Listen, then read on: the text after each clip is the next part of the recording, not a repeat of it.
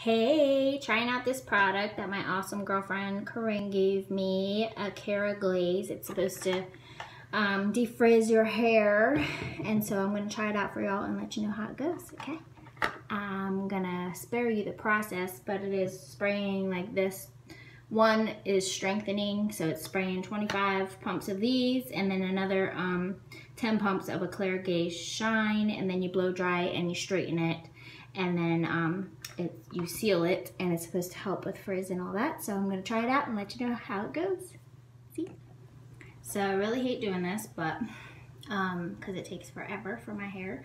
But I'm starting to blow dry it and I'm starting to straighten it. And here's my first straightened piece and it is just absolutely gorgeous. Just straight and beautiful. So I'll keep you updated. So here is the straightened product and it looks amazing. This is my first go through with it, um, but it feels really, really great and no frizz at all. It looks, it just looks smooth and beautiful. so the jewelry's out on this stuff. It's pretty awesome and it looks like I barely used it so I can get quite a few um, tries out of it and it says it's good up to six to 10 washes in your hair.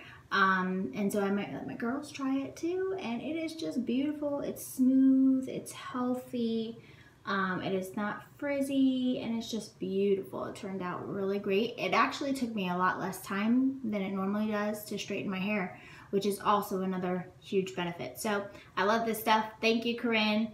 Um, and I hope more people will buy it. It's pretty cool. Kera Glaze, it's called. All right, y'all. Have a good day.